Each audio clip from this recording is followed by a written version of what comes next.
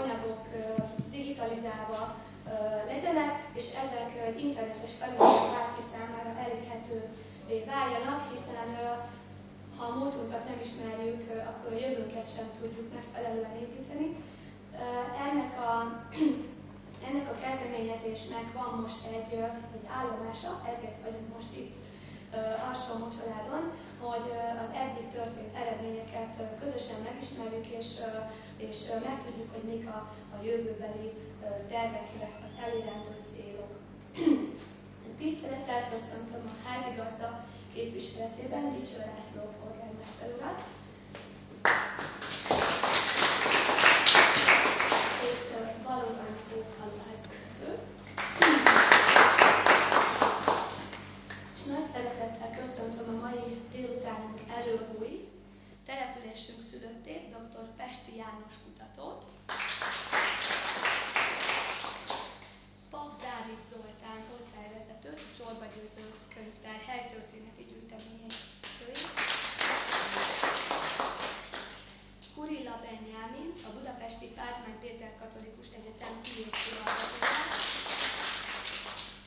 Sajnos betegség miatt nem tud most velünk lenni dr. Smelcer Pohánka Éva, osztályvezető főkönyvtáros, aki szintén részt vett a különböző anyagok feldolgozásában, de bízunk benne, hogy lesz lehetőségünk megismerni a hölgyet, illetve az ő eredményeit is. Illetve köszöntöm még Bíró Lászlót és Rendes Pétert, az Inotek Kft. képviselőit. És akkor én nem is húznám tovább a szót, hanem át is adnám egyből első előadónknak, Pesti János barátunknak. Igen, tisztelt Vaksomú családi, kedves barátaim, kedves vendégeim!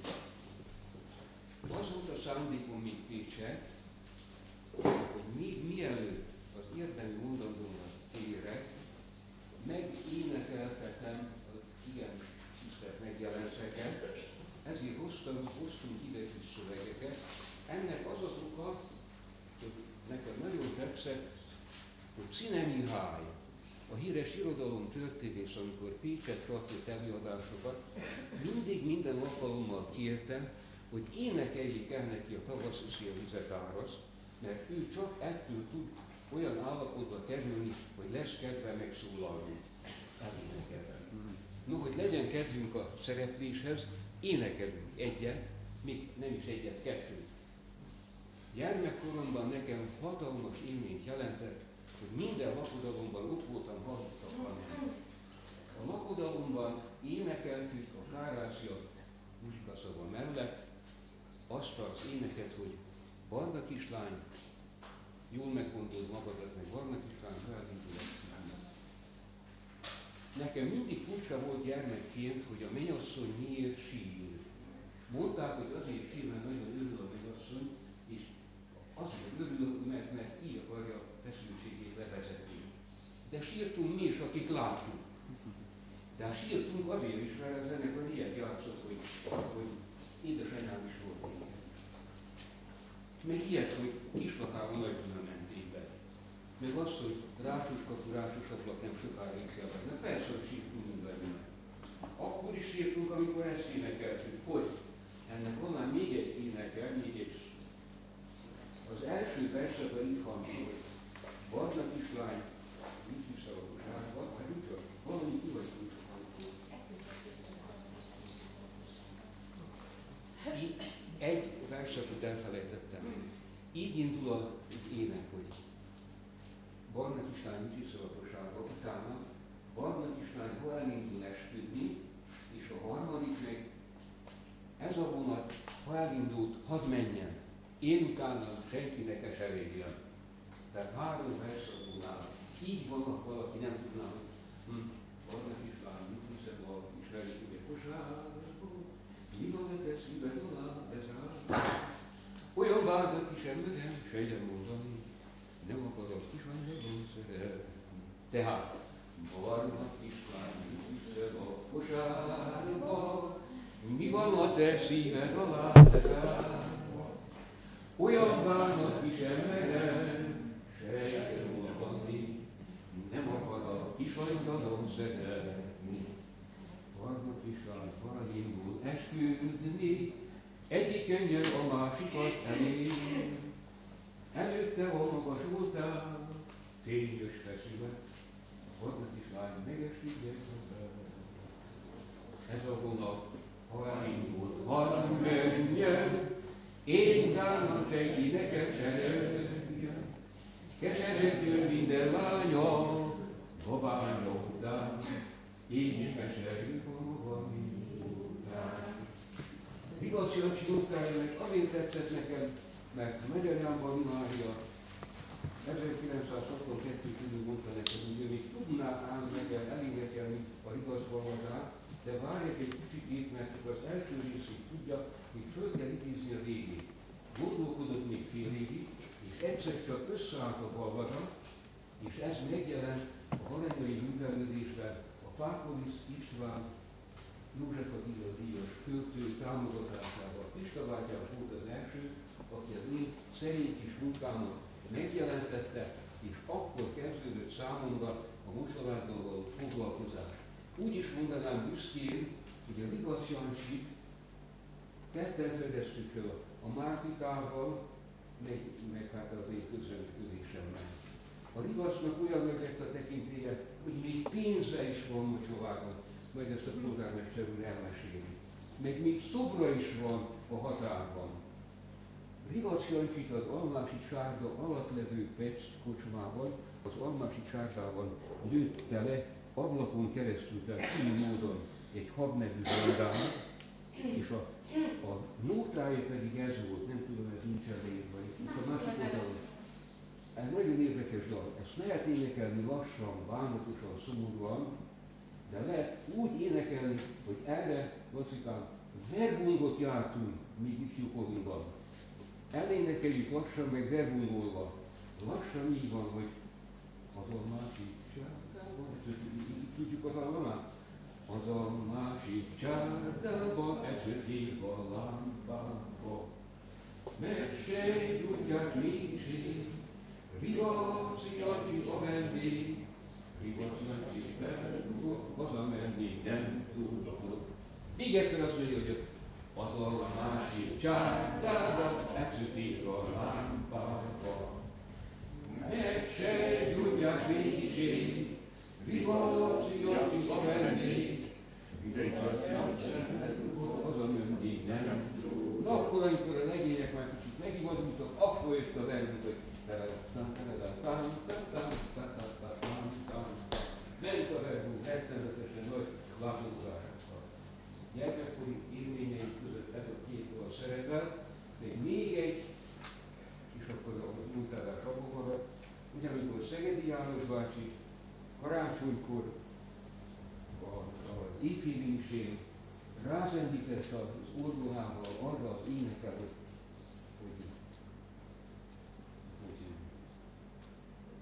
Betlehemnek vajorjában Jézus született, nem tudom, ki ismerik ezt a éneket. Így szól, Betlehemnek vajorjában Jézus. János bácsi tudott játszani a lábpedálokkal is. A lábpedált is bekapcsoltam, majd megszakadtunk a fújtatásban. Úgy szólt az orgona, hogy szinte remektek a halak. Ez nekem kisgyerekként hatalmas élmény volt is, hogyha én még mindig karácsonyra gondolok, akkor a karácsony mocsolán Szegedi János bácsi orgonál, ez nekem karácsony. Na, hát megvan a kellő hangulatú most már, akkor én következik a mondokát. A Dávid barátom, Bumhana Dávid. Itt van. Dávid barátom, Bumhana Dávid. De adott nekem egy olyan témát, amiről nem lehet beszélni. Mondhatnám, hogy Dávid nem tudok róla semmit. Tudni Azt mondja, hogy nevét vesztett helység. Hát ha nevét vesztett, akkor az a neve, hogy nincsen neve. Pécset van ilyen utca, hogy névtelen utca.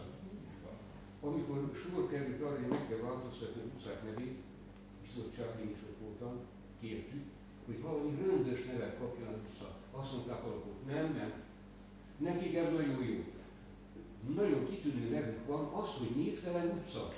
Ha Anonymous, negyedik Béla király névtelen jegyzője leírta azt, hogy ő az Anonymous, a névtelen, akkor a Pécsi utca lakói is névtelenek.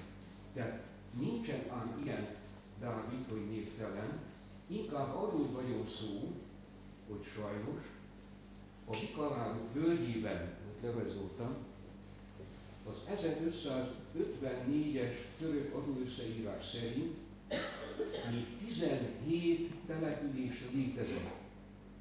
Ma csak 5 van. A többi eltűnt a földszínéről, nincsenek. Most ezek nem a nevüket vesztett települések ám, hanem a nevük megmaradt a térképeken meg a különböző iratokon, csak hogy a falvak tűntek el. Nem maradt belőlük semmi, egy kődarab nem maradt belőlük. Most azért örültem, hogy a témát megpendítettem, mert én régóta gondolkodom azon, hogy a történészeink nagyon nagy jó szándékkal leírják, hogy egy-egy falu körülbelül hol volt, merre volt, mikor tűnt el, de hogy ezek egymással kapcsolatban voltak, arról már nem nagyon esik szó. Most én azt szeretném bizonyítani, hogy itt a Bikavárok völgyében egykor létezett települések valamikor nagyon szoros kapcsolatban voltak egymással. Hát most meg kell említeni egy hogy, van egy ilyen hagyomány a magyar névtudományban, hogy, hogy aki igazán névtudósnak gondolja magát, annak valamit kell érteni a történelemhez is. Tehát a legnagyobb névtudósaik, most néhány nevet mondok a kollégák, akik értenek hozzá, tudják, tehát száz évvel korábban Melik János, Knyezsa István, akkor a nagyok közül a, a Debreceni Kálmán Béla professzor, sorolhatnám végig, nem csak Pajzs Dezső, nem csak nyelvészek voltak, hanem kitűnő volt a történelmi tájékozottságuk. Most ezt miért mondom? Lényeges. Pajzs Erzső, aki Zala megye szülötte volt, Zala Egerszeg mellett van egy kis falu született, utóbbias akadémikus lett az Ötvös Lugán Tudományi Egyetemen, föltűnt neki, hogy Zala megyében több olyan hely van, aminek az a neve, hogy öt tevény. Mi a fészkes fene lehet ez? Kértem régészeket, hogy kicsit piszkálják meg ott azokat a Ja, az öttelény az halom, töltés. Gyanús. Ott vagy sír van, vagy, vagy valaminek ott lenni kell. Nézzék meg ezeket a töltéseket. Mi ez? Megnézték. Nem fogjátok elhinni, megtalálták a római út alapjait. Ettől olyan, olyan nagy örömmel lett a Pajs professzor úrnak, hogy akkor az összes ilyen nevet térképre írta, valahonnan onnan Zala megye déli részétől, Fölegészen, Zalaegerszegig megy tovább, és itt van a csoda, ez az út végig visz egészen Szombathelyig, a római útnyomvonaláig, onnan még tovább föl egészen Pozsony vidékéig, és onnan még tovább föl a balti tengerig. Ez volt a Borostyán kő útvonala. Ez egy fantasztikus felismerés volt. Tehát mi a különleges benne? hogy arról van egy nyelvész, aki tudja, hogy ez a tájszó, öttelény, ez nem akármi ám, van elég esze, tudása, formulatítéssel, hogy az adatokat rárakja a térképre, és a térkép alapján a régész megtalálja a római út nyomát. Most ez engem annyira fölelkesített, hogy a napokban vettem a bátorságot, fáradtságot, hogy a Pécsről kiinduló Szopiáné, Bakóca, Kaposvár, Keszthely, és mi is van utána. Segítsetek a, a Kestre közelében az a római korvégő levőhely. Isten jónak is zavar. De Kesthely mellett a minden Efezenbe fogjuk később. Ez az útvonal innen Pécstől abba az irányba végig kimutatható a helynevek alapján. Most számomra az a meglepő, hogyha a régészeknek lett volna azért ennyi fantáziája, vagy ennyi, hogy mondjam, szorgalma, hogy megnézzük már, hogy hát ne bolondozzatok, Baranában van még római útnak nyoma, hát nézzük meg már, hogy, hogy ez nem mese, hanem hogy ebben lehet-e hinni. Várszegi Valajos, aki hosszú százszázban írt egy kitűnő kis monográfiát, ő írja nagyon okosan, hogy amikor már az írásos forrásokra nem tudunk támaszkodni, akkor elő kell szedni a néphagyományt. A néphagyománynak nagyon komoly forrásértéke van. Nem szabad leszólni azt, amit az emberek egy-egy helyről még szüleitől, nagyszüleitől, végszüleitől hallottak, mert ez nem mese, annak van valóság alapja. Most magam bírálatát kell mondanom, hogy annak ellenére, hogy én már 1969-ben, hát kérdésnek tűnik, de kénytelen voltam még megvárták tőlem. Írtam egy doktori diszertációt ilyen színben, a Bikal állók völgy földrajzi nevei. Szépen föl, itt van, ugye Bikal, Mocsolád, Mocsolád, aztán végig, ugye Kostötő, stb. Ennek az egész völgynek hat falunak a névanyagát tettem közé, és eszem magában nem jutott, hogy akkor ezek között én valamilyen módon keressem a kapcsolatot. Hogy a háb miért tűnt el, hol van az a háb? Ki vitte el a háb birtokát? Elvitték a tűtösiek, eladták a mágocsiak, meg egy kicsit még a gerényesek is kiosítottak belőle. Úgy gondoltam még akkor, hogy olasz hamu az Locsolát birtoka volt, nem tudni mióta. Hát nemrég olvastam róla, hogy olaszul, a Dombovári vár birtoka volt hábbal, gerényessel, és még nem tudom hány helységgel együtt, de most, hogy Bocsoláthoz tartozik, annak örülünk kell, de eredetileg nem volt Bocsolát része.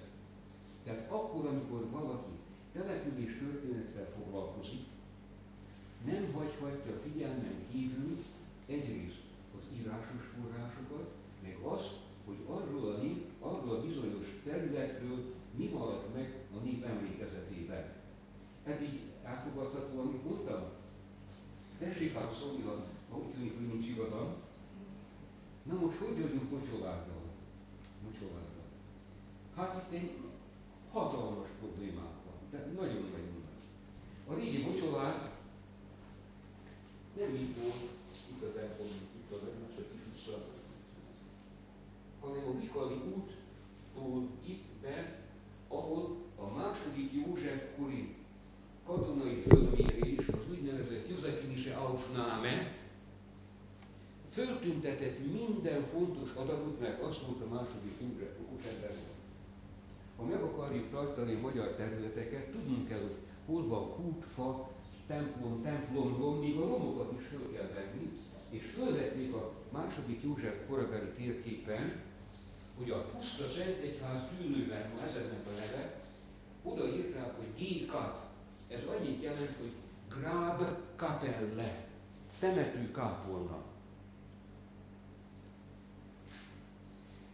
Most, ha van olyan történész, aki azt mondja netán, hogy én nem hiszem el, hogy az Ocsolát falu helye, mert ugye Ocsolát most itt van. Itt van egy nagyon nagy rejtély. Hogy ho, hova tűnt el Ocsolát lakossága? Itt voltak és egyszer csak eljöttek ide, miért jöttek ide?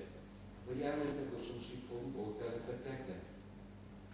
Most én ennek így próbáltam utána nézni, és sok adatból így állt össze, így mozaikokból az, amit most mondok. A Nagy Laci bácsi mondta ki először, hogy ő hallotta a nagyapjától, hogy a jelenlegi mucsolát központja szíve, az nem itt a templom körül volt ám, hanem a felső sarokban a temető környékén. mégpedig azért, mondja ő, mert mondták az ősei, hogy a töröktől annyira féltek, hogy az el, ebből semmi nem maradt ebből a régió családból. Semmi az égott a világon. Még, még kődarab sem. Illetve valami majd mondom. Ha nem marad belőle semmi, akkor hát valahogy el kellett indulni nekik, valamelyre helyet keresni. Most lehet, hogy voltak, akik Máborúra mentek, Huzárra mentek, Pikarra mentek, de azt mondja Laci bácsi, hogy az történt, hogy innen a régi mocsolányi falu helyéről, a Mugyolós tetőn át, a mai temető körül ide eljöttek a főső faluba, tehát Mocsolák a főső faluból jött állandóan lejjebb, lejjebb, lejjebb. Ez abból lehet sejteni, hogy így lehetett, ő nem beszél dolgokat, hogy a legrégibb házak tényleg a főső sarokban vannak. Ott még olyan ház volt, emlékszem rá, hogy vesző funadék, amit betapasztottak sárga, olybás sárga, tehát még csak ház sem volt ott. A legideiglenesebb házak voltak ott. Most van még egy érvem, hogy onnan jöhetett a falu lefelé. Most nem régöttem a erre, lehet, hogy nincs igazam. Laci, cáfoljatok meg. Ugye az ide telepedő németek, 1710-730-40 tájékán, akik jöttek, jöttek Dél-Németországból, Frankfurtről, olyan helyeket kerestek maguknak, ahol lehetett normálisan építkezni. Tehát a nagy német házak, Márkvárté, Sanneré sorba föl, a falu felső részén épültek, nem itt lent. Tehát megint csak a falu fölülről jött, terjeszkedett lefele, és így van, hogy maradtak ki foghelyek például a, a Nagy István bácsi telke, meg a templom között, ahol most hát szerencsére ott áll, ott áll a szép idősebb otthon. Tehát az a tény önmagában, hogy a betelepülő németek nem itt építkeztek először, hanem fönt, mert úgy volt folytatólagos a falu, hogy onnan jöttek lassan lefelé. Na most, jó a következtetésem, nem vagyok benne biztos, gondolkodjunk. Ha a régi mocsomár ugyan eltűnt, semmi van. Nem maradt templomból se semmi. Bár az 1748-as kanonika vizitáció még annyit mond, hogy áll három fala, és a boltozata már beomlott. Boldog keresztapám még arról mesélt nekem, hogy az ő gyermekkorában még a templom köveit talicskákkal, meg kocsikkal szállították ki innen a templom helyéről a Bikari út mentén ide. Tehát ha nagyon megtisztálnánk itt a földre, feszikán, itt az út mellett lehet, hogy előjönnének a templom faragott kövei, azok a, azok a kövek, amelyeket a, a Kárpáti Gábor az 1998-as, 9-es, mikor, mikor is volt itt a, a víz, vízmű telepítése? 96-97 körül. Mi árkokat ástak a vízvezetéknek. Nagy büszkeségemre. A kis utcán, ahol én születtem, kis utcán. Római kori épületek alapjait találták meg. Más én nem hittem volna a gyerekkoromban, hogy római kori. Kárpáti Gábor találta meg ezen kívül. Itt a puszta templom Szentegyháznál a faragott és festett kapubérlet köveket. Kárpáti Gábor szerint a faragott kapubérlet kő egyértelműen Árpádkori település templomára utal. Tehát Mocsolád, ha már létezett, létezett források szerint 1294-ben, valószínű még korábban létezett már, mert a templomát Adalbert nevére ö, szentelték fel, tehát a templom titulusa Adalbert, most lehet, hogy én fantáziálok, lehet, hogy nem jól tudom, de úgy emlékszem, majd majd javítsatok ki, hogy Adalbert püspök volt, a, ő, aki Szent István királyunkat megkeresztelte. Tehát a Mocsolári templom titulusa kapcsolatban van a Szent István megkeresztelő Adalbert püspök nevével, azán ez sem kis volt. Most akkor van ám rejtély bőven, hogy ha a Mocsolár falut én magyar falunak Piszkes fenében van szláv neve. Gondozunk? Mi nem adtak magyar nevet? Hogy tudni várni. Azért, mert a honfoglaló magyarság, Pécset is ezt kötték minden. Nagyon okosan a már megült településeken helyezkedett el. Nem kerestek úgy a helyet, mert úgy gondolták, hogy ahol már település nyoma van, oda kell menni, ott kell letelepedni.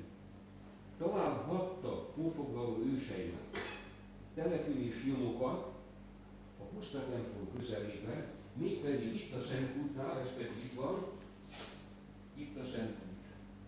Ez is egy érdekes emlékám, a anyaga.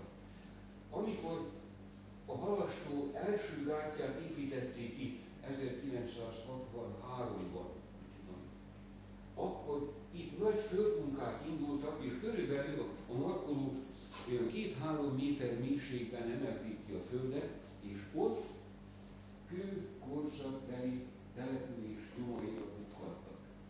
Most ez annyira különleges volt, szinte hihetetlen számomra, és akkor a régészek mondják, hogy ez egymás követő népek nagyon jól tudták, hogy ott, ahol van egy forrás, itt van egy kiváló forrás, a forrás közelében kell elhelyezkedni, mert a víz az nagyon nagy érték. Tehát itt lehetett már akár kőkorszaki település, lehetett ott kelták, ígérek, mindenféle lakos emberek, és ha már ez településre alkalmas hely, akkor lehet, hogy az itt megtelepedő szlávok azt gondolták, hogy hát innen a vízjátra helyről menjünk egy kicsit magasabb helyre, mégis a biztonságosabb, és akkor oda mentek a, a mai puszta templom helyére. De mivel ez a rész a viharvata áradásai miatt állandóan mucsaras helynek számított, én még arra emlékszem, hogy amikor kisoskolások voltunk, és jött egy nagy eső tavaszi áradáskor, a Köröztös Laciba, a Rüccel Parcsiba, Kobzó teknővel eveztek át a faluréten, mert akkora volt a víz, úgy elöntötte a víz a faluréteket, ott, ahol ma halastavak vannak. Tehát egyáltalán nem hihetetlen, hogy az Árpád-korban ez a vidék, itt, a bivalfatak áradásai révén nem kell ciklázni, ez bizony mocsár volt. Mocsár. A mocsár, a pocsolya, a szláv nyelven pedig mocsi ló. Mocsár, pocsolya. Most lehetne mondani, hogy hát akkor miért nem hívják mocsoládot mocsilágnak? Régen így hívták egyébként, nem mocsolád, hanem mocsilád. A magyar nyelv nem kedveli a vegyes hangrendűséget. Nem szereti. Így lesz az ulicából utca, a paliszából pálca, a malinából málna.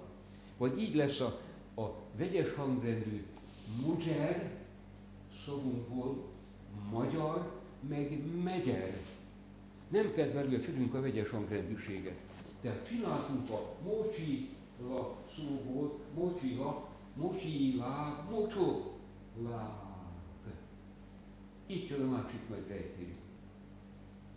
Elhittem, hogy valaki korábban, Virág Rúzsa 1942-ben azt állította, elhitték neki, mert nem jártak utána, hogy a mucsolád helynév az nem más, mint a mucsila, szláv közszó, D magyar képzővel bővült alakja.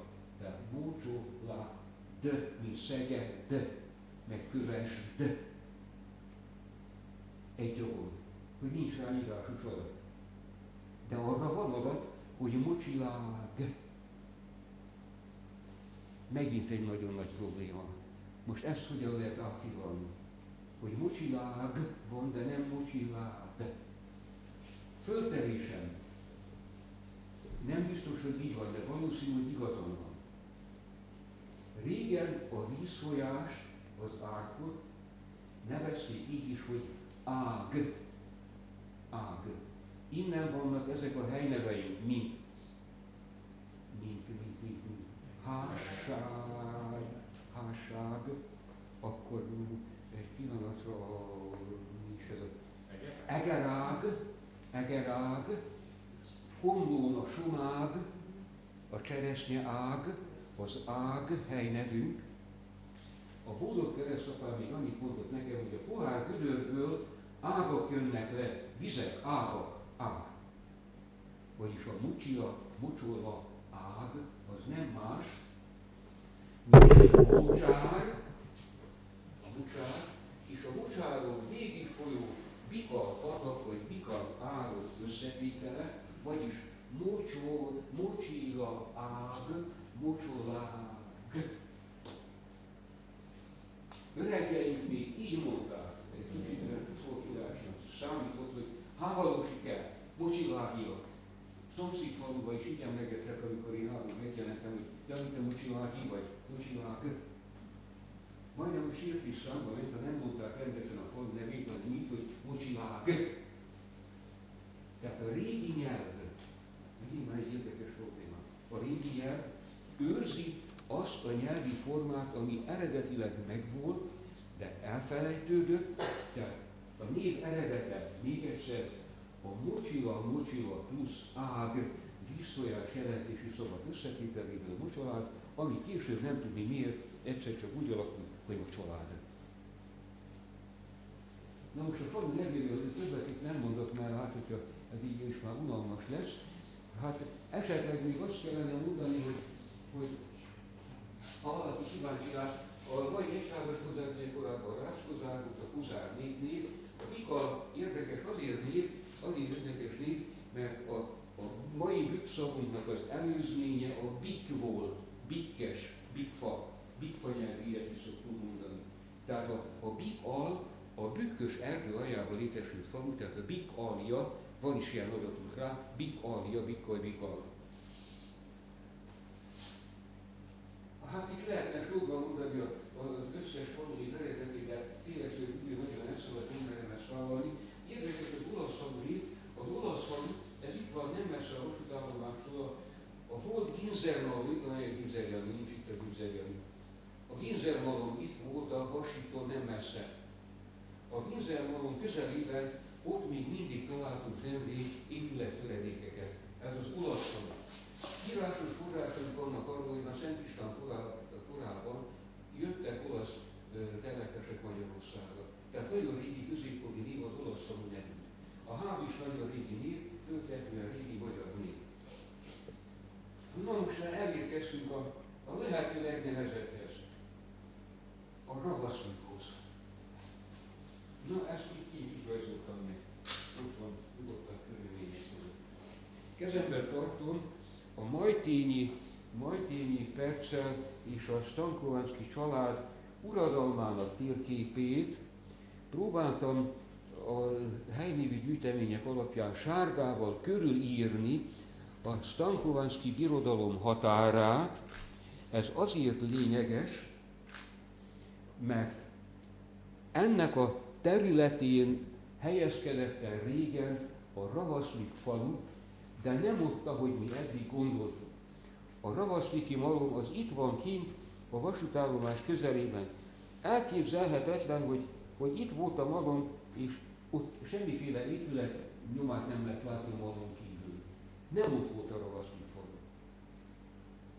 A Ravaszlik falu föltevésem szerint volt a mai, a mai ö, falu központi helyén ott, ahol római kori épületmaradványok is voltak találhatók, tehát lehetséges, hogy ravasztik egykori lakói itt ebben a térségben foglaltak helyet. A ravasztik falu helyét még igazolja, a közelben itt van, itt van a rókagödör. A róka szavunk régen így hangzott, hogy ravasz. Ravasz, vagy rovasz, vagy ravasz. Ravaszlik. Tehát, hogy a, a Ravaszvik falu nem a Ravaszviki malomnál közel a vasútállomásnál lehetett, hanem inkább itt a mai mocsolák helyén, mert a régi mocsolák főső sarokban volt és fokozatosan jött lefele, és egyszer csak lefele-lefele húzódva elérte a Ravaszvik falu helyét, mondhatnám, hogy mocsolák egybe úrva Ravaszvikkal. Most ezt lehet elhinni, lehet nem elhinni. Ez annyira új dolog, amit én itt most mondok, ez most azért érdekes, Mert hogyha a falu történetét nézzük, akkor azt kell mondanunk, hogy legalább három nagy forrásból jött létre a mai mocsolát falu. A régi mocsolátlaposokból, akik menekültek a főső sarokba, meg akik jöttek lefele, illetve velük valószínű egyesültek a ravasztjuk faluban élő, és létrehozták itt a mai mocsoládot, amit mi alapjában véve ma mocsoládnak gondolunk. Na most ennek a bővebb kifejtése még komoly tanulmányokat igényel ám, én most nagyon-nagyon a legelején vagyok ennek, de az az érzésem, hogy sokat én nem tévedek. Itt még a meg kell ezt említenem, hogy a Füzes Miklós barátunk segít remélem már nagyon nagy jó szándékkal. Minden adatot összeszedett, amit a Majlár Stankovánszki uralom történetéről tudni kell. Több adat arra már nincsen.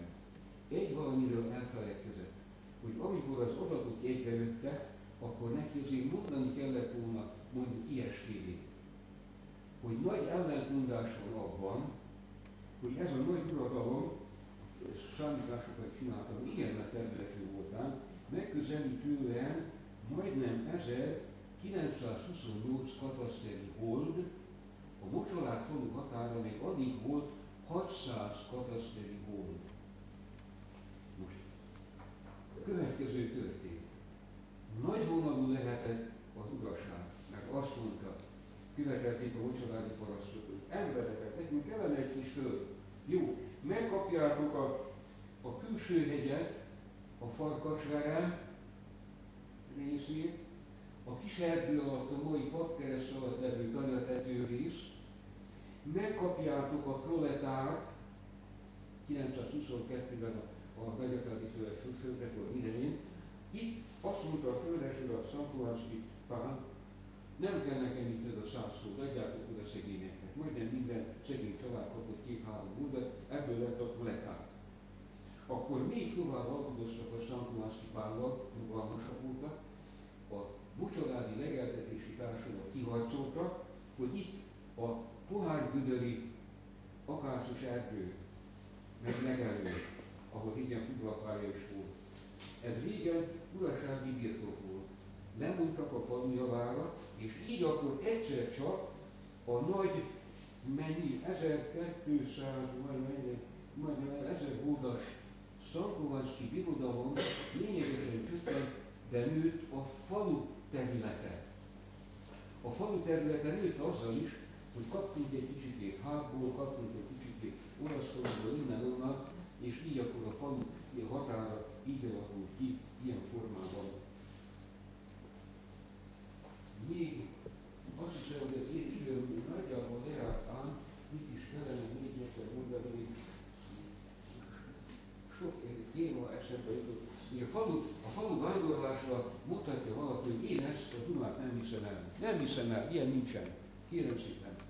Bicsér faluról máig tudják az emberek, hogy a hatosok környékén volt régen a falu helye, mivel a hadsereg fő vonulás iránya volt, mondták a, a bicsérdiek, itt nem maradunk tovább, három kilométerre eljebb volt alapított egy új falu. A mai kozár nem a mai helyén volt, hanem a mai helyétől legalább két kilométerre beljebb. Ennek neve Kiskozár. Budáról tudjuk, hogy a Budafalu vége nem ott volt, ahol volt, hanem egy kicsit arrébb és följebb. Később jöttek egy picit lejjebb, akkor, amikor már a töröktől nem féltek. Az ormánsági falak története is érdekes.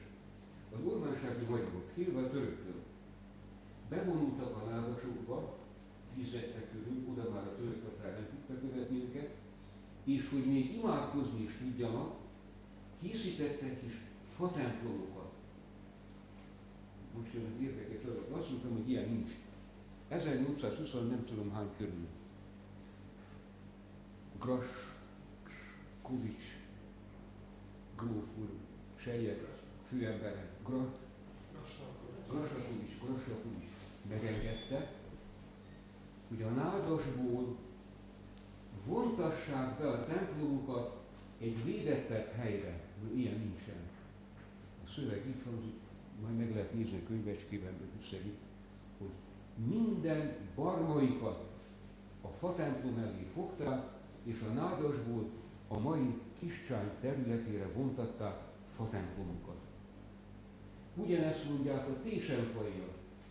Még ott ilyen szöveg is van, hogy a terehegyiek is még tudták, hogy a Tésenfai nádasból hoztak őt, ők papot csónakkal vasárnaponként. Még mondta is van róla, csónakkal hozik a papot, ott tartjuk a vasárnapot. Úgy tartjuk a vasárnapot. Tehát mikor először olvastam én a versemet kötetében, hogy létezik, hogy templom tudok, mondtam, hogy hát ilyen marhaságot már nem mondjanak nekem, hogy ilyen van, akkor kezdtem elhinni, amikor több helyről olvastam, hogy Szalatnak is volt fatemploma, a Holzkirche. Ez fönn volt a Gról, ott, ahol a nagykanyar van, a vasúton a nagykanyarja, a Gról fölött, ott volt a Holzkirche. Gyanítom, hogy ezért volt két hely a neve az elpusztult falunak, Szalatnak határában, mert volt egyszer az egyik hely, a másik meg ott, ahol a kis fatemplom áll, de az megszűnt. Valószínű beolvadt két helybe, de két hely is el tudhatott feszülni A hírdiekről azt tartják, még érdekes sztori, hogy olyan bolgárban a hírdiek, ugye hallották, hogy ilyen nagy templomot úgy lehet tolni, hogy a összedugták a fejüket, fogunk hogy hogy legyen, itt legyen. A templomot le kellene túlni a mert nagyon magasan van, nem tudunk olyan magas egy bejárni. Neki veselkedtek. Éjszakon tolták a templomot lefelé. A bíró is ott volt. Kabátját az égi hagyta. Túlták, túlták a templomot, nem ment. Közben egy kódus arra járt, a bíró kabátját eltűnt nagy, nagy erőfeszítés után mégiscsak megnézték, hogy odébb ment a templom, akkor mondja a bíró, látják, eltűnt a hová, odébb tudtuk túlni. Ezt látják a tégi templomról. Na, tehát Baranya, Baranyában vannak ilyen aranyos történetek a templom szolókról, ez azért érdekes az én megítélésem szerint, mert a néphagyományban él az a tudat, hogy nem biztos, hogy a falu, ahol ma van, az valamikor ott lehetett. Most ennek kell utána nézni a történésznek mindenféle adat alapján, hogyha van írásos emlék, akkor írásos emlék alapján, ha még nincs, akkor akkor másik egy forrás keresett. Bőven lejárt az messze lejárt